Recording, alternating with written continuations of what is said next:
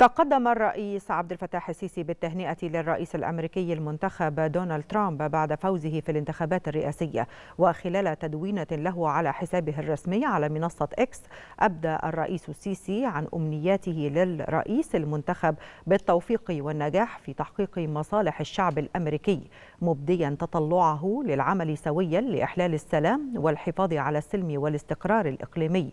وتعزيز علاقات الشراكة الاستراتيجية بين مصر والولايات المتحدة وشعبيهما الصديقين.